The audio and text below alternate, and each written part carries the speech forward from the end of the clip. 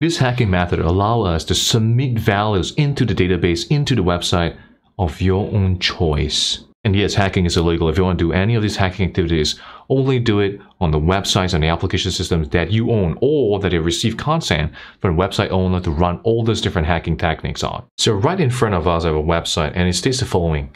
Choose your favorite security tool. And it states the following, right? Your choice to make your vote count. So let's go ahead and select, say, for example, Wireshark, okay? And I have your initials, LLY. Okay, so go ahead and click Submit Vote. And you see right at the bottom, okay, you get the following, Wireshark with one vote. So now the question is, what if we want to go ahead and submit a tool that does not exist in the option, all right? So we don't see that particular hacking tool that your favorite hacking tool is and is not listed here. What if we want to add that on our own?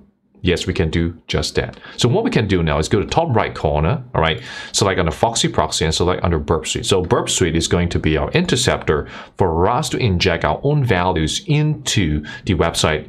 So all you can do is go to top left corner, all right, go ahead and open up terminal. And what you can do now is go ahead and enter Burp Suite, all right, so go ahead and launch that. So our interceptor will help us be able to inject value into the site by tempering right, which is modification of the HTTP method into the site. So what we can do now is go ahead and click temporary project, click next, go ahead and start use burp default, start burp, and now we're starting up the project. So once we're here, right, go under the proxy tab and ensure that intercept is on. So once your intercept is on, you can see right here, right, initial your choice to make your vote count, go ahead and click submit vote, and you see the interjection right here. Okay, so right click on this and send it over to repeater. And we can see on the left side, we have the request Right at the center, we have the response, and on the right side, we have the inspector. So what we can do now is to go ahead on the very first line, you can see the following. We're using a get method. We're trying to pull information out. So what you want to do instead is use post. Okay, so we're posting into the site by tempering with the parameter. And what we can do now is the choice part, we're going to modify this. We're going to change this to something else. So what we want to change this into, I'm going to change it, all right, to Hackerloy. And of course, what we're going to do now is go ahead and click send. And you can see the following, okay? HTTP slash 101 200 OK.